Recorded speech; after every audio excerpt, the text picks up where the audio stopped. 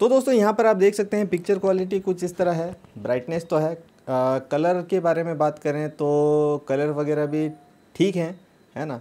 मगर उतने डीप मुझे नज़र नहीं आ रहे हैं। अब जो है कमरे का लाइट ऑन है और विजिबिलिटी कुछ इस तरह की है।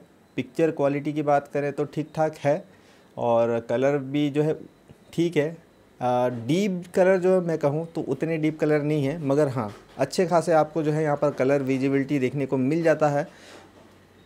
तो चलिए अब जो है मैं इसको लाइट ऑफ़ करता हूँ और उसके बाद में जो है देखते हैं कि डार्क रूम में ये आपको कैसा विजिबिलिटी दिखाएगा।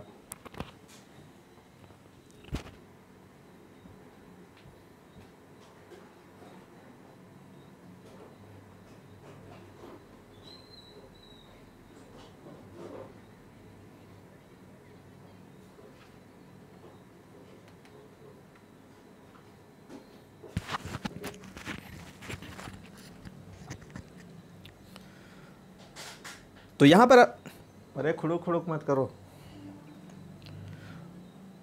तो दोस्तों यहाँ पर जो है आप देख सकते हैं कि आ, हमने जो है कमरे का लाइट ऑफ़ कर दिया है। ब्राइटनेस काफ़ी अच्छी है ठीक है? लाइट ऑफ़ के बाद में ब्राइटनेस काफ़ी अच्छी है और प्रोजेक्टर के बारे में यही कहूँगा कि ब्राइटनेस जो है काफ़ी अच्छी ब्राइटनेस है और अभी मैं किसी के साथ कंपेयर नहीं करूँगा।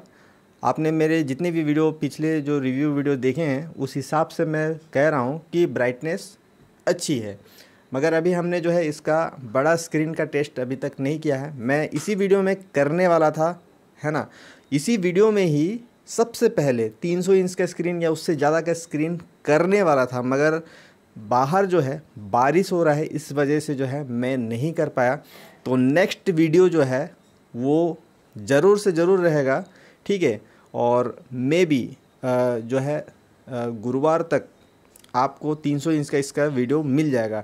तो अभी के टाइम में हम देख रहे हैं अपने कमरे में 12 फीट के डिस्टेंस में ये 100 इंच का स्क्रीन बना रहा है, जो मेरा जो स्क्रीन है, जो मैंने बॉर्डर बनाया है, मेरा जो स्क्रीन मैंने क्रिएट किया है 107 इंच का है, जो कि इससे आप देख सकते हैं। तो 100 इंच के आसपास का स्क्रीन ये बना रहा है 11 फीट के डिस्टेंस में और कलर वगैरह जो है मुझे काफ़ी अच्छे लग रहे हैं। कॉन्ट्रास्ट रेशियो ठीक है, उतने डीप ब्लैक नहीं है। बाकी प्रोजेक्टर के कंपैरिजन में अगर मैं करूँ